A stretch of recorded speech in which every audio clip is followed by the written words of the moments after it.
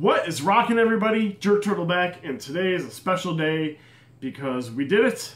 We surpassed 50 subscribers, and like I promised, if we hit 50, then I would do a special live performance reaction, and that's what we're gonna do. We are doing Iron Maiden, Rime of the Ancient Mariner. Okay, this was requested by Dark Helmet and Defiance and India Moni La Chupa Verga Superdotada. That's quite a name. It's obviously a very popular song, so I figured why not do something cool for our 50 subscriber special. Thank you guys. You're amazing. You rock. I love you all. Keep it up. Um, I hope you enjoy this. I know I'm going to enjoy this because I have loved every single Iron Maiden song I've heard so far, and I'm excited to check this out. So without further ado, let's hit the seas and rock out. Cheers, guys, and thank you. I'm going to try not to pause this so much so we can enjoy this, but let's get going.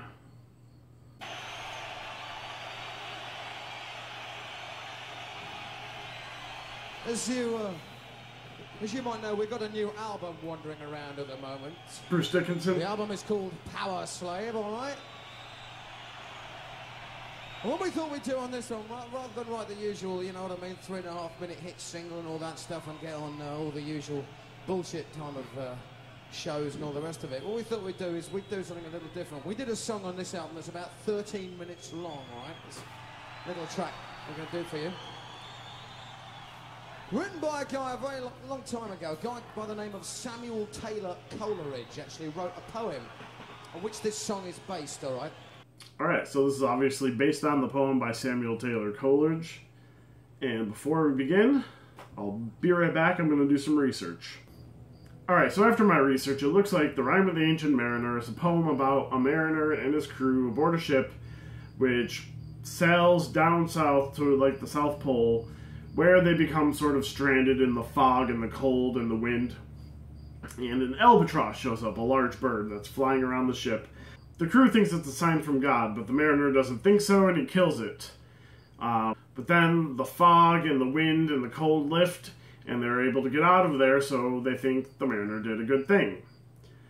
Then they get stranded again, and the crew thinks this is because he killed the albatross, so they hang it around his neck as a sign of shame. As they float in the water, without fresh water to drink, they all start dying of thirst and everything else. They come across a ship. They all think the ship is their salvation, but it is a death ship, a ghostly death ship. And the crew of the death ship is like death and life after death. And they gamble to win the lives of the crew, which they do win. And all the crew members start dying one by one of thirst. And the mariner is forced to watch this. He then sees some snakes outside of the ship, which he sees as a sign from God and inspiration. Um, and the albatross falls from his neck, and he is no longer shamed. That is my brief synopsis. There's probably a lot more to that poem, but I just wanted to get the general feel of the poem since this is what they're basing the song off of, obviously. So without further ado, let's get back in and start rocking. And this poem, this poem, I'm, I'm, I'm sad to say, was written while under the influence of drugs. Oh no, not drugs. Now, we're not talking here the kind of drugs that I normally take, which is maybe the odd cup of tea or something like that, you know, before a concert or something. We're talking serious drugs. Ladies and gentlemen, we're talking about marijuana. Oh man, no, not marijuana. Do you know this stuff used to be legal in the 19th century in England, all right? In those days, they didn't used to call it marijuana. They used to call it hemp, right, which is the stuff they used to make ropes out of in those days. And did you know that the Queen of England, that's Queen Victoria, who was the Queen of England in those days, she used to get really, really bad period pains, you know what I mean? Really terrible. And in her diary, she used to write, had really terrible period pains today. Georgie was very annoyed. That was her husband, the king, you know what I mean? And she used to go to the toilet and have a couple of joints to kind of uh, mellow out a little bit. Did you know that? That's crazy. I like our little history lesson by Bruce Dickinson. I did not know the Queen of England used to smoke pot, but that's very funny. All right, I'm liking this. I'm liking this little sit-down history lesson. Really? And now look what's happened to the state of the fucking empire. Never mind. The rime of the ancient mariner, if you dare.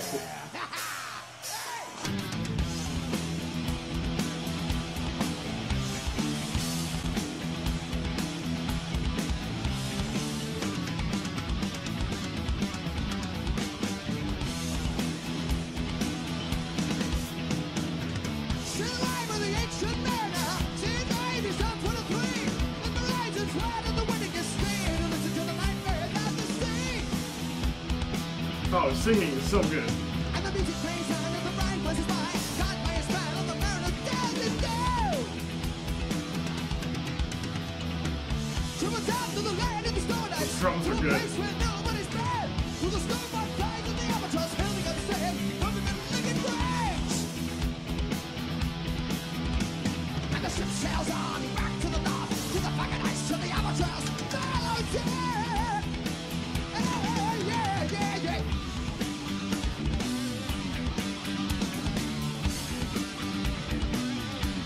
too terrorism at base, though.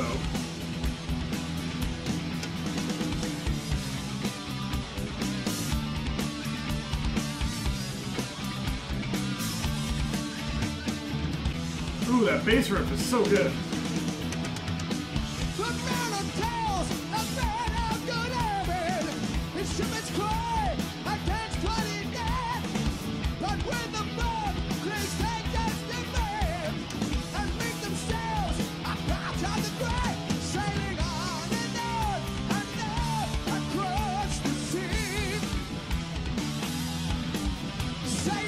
Man, Bruce's singing is so passionate. I love it.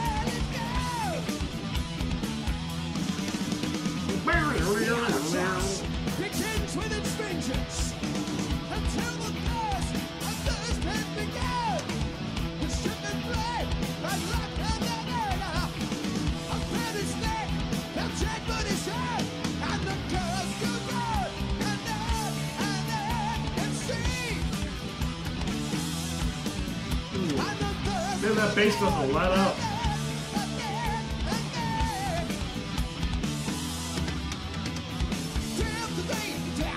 That drumming is awesome.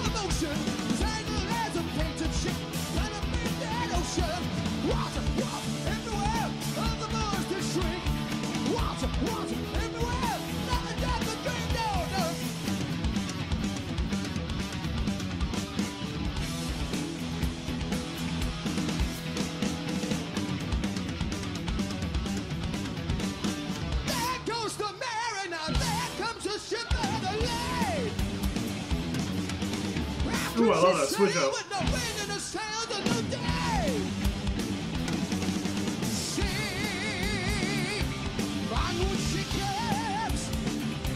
Onward she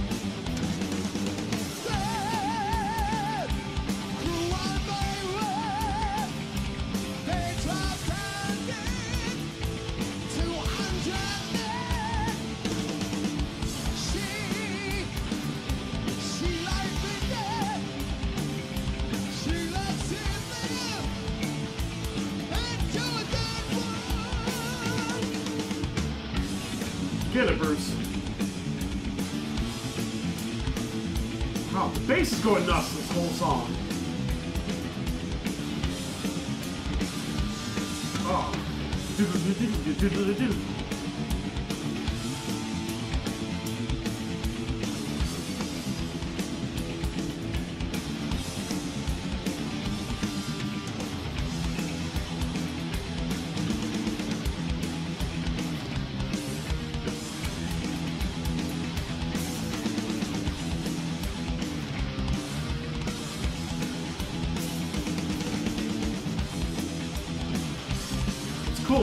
See these guys live finally.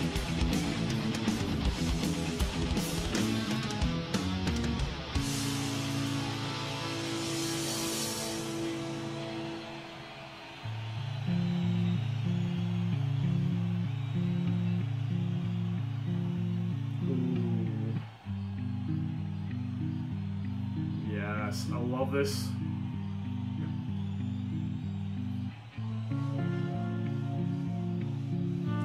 So creepy.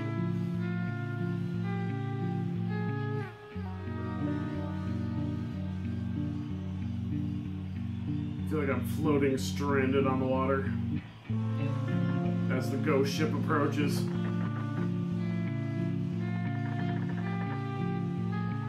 can hear the creaking of the boards.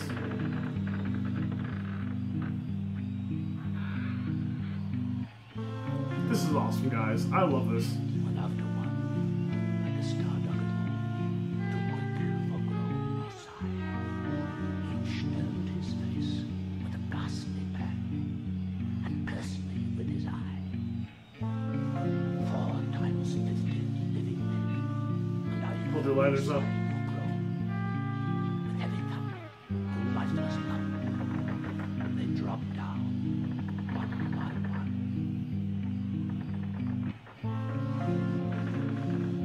Guessing those are lines from the actual poem.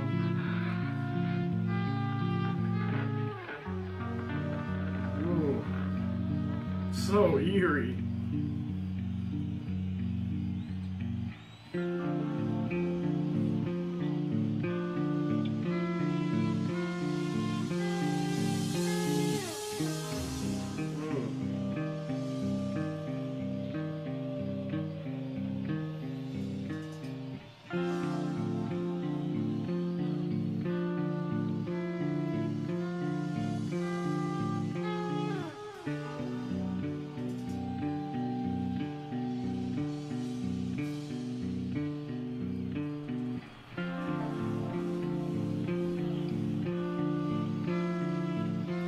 They got the fog rolling across the stage.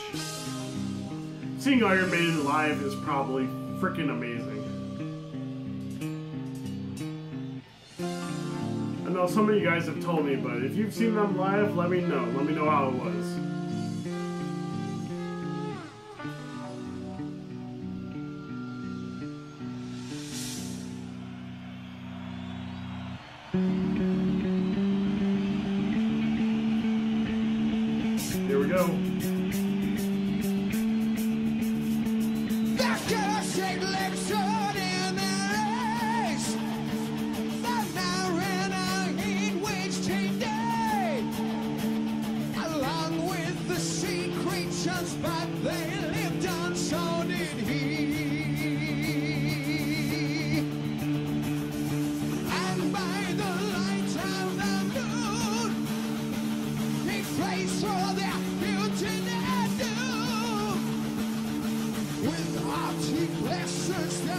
He's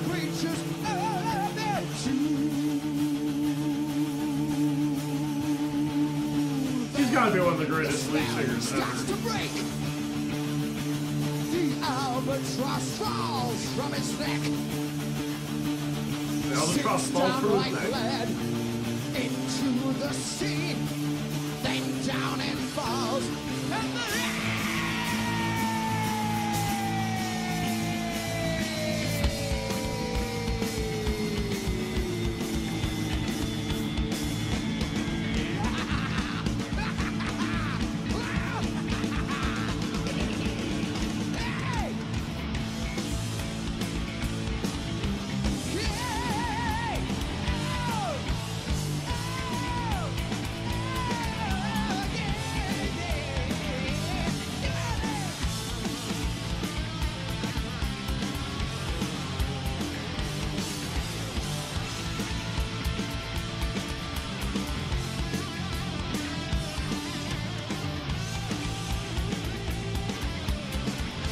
Hell yeah.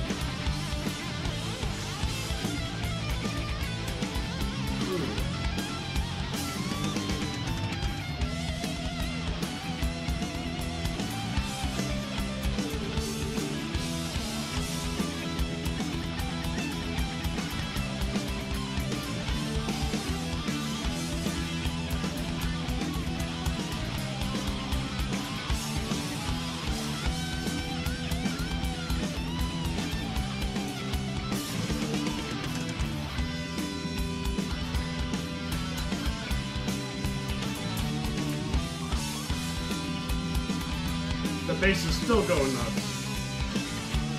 Whoa. What's he doing?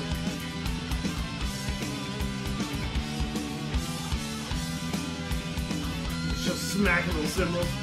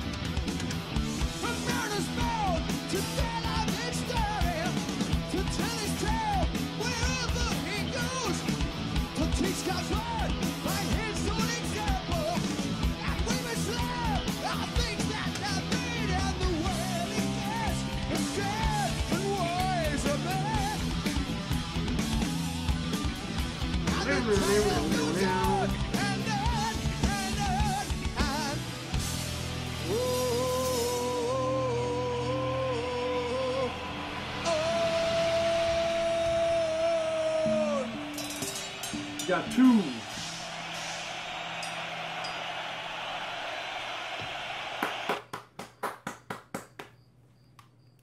Beautiful. Beautiful, beautiful, beautiful. All right, as you can see, I'm sweating my ass off.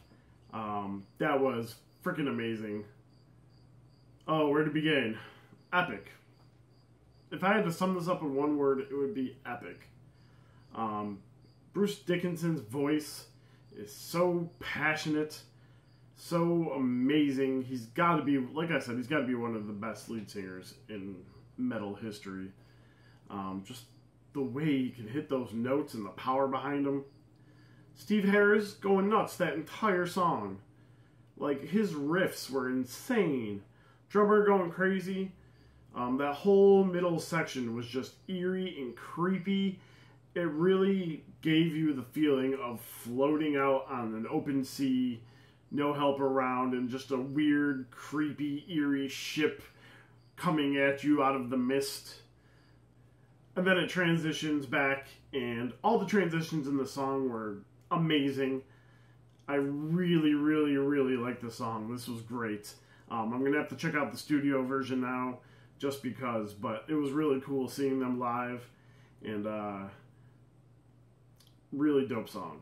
So thank you guys for hanging out with me. Thank you for liking, commenting, and subscribing.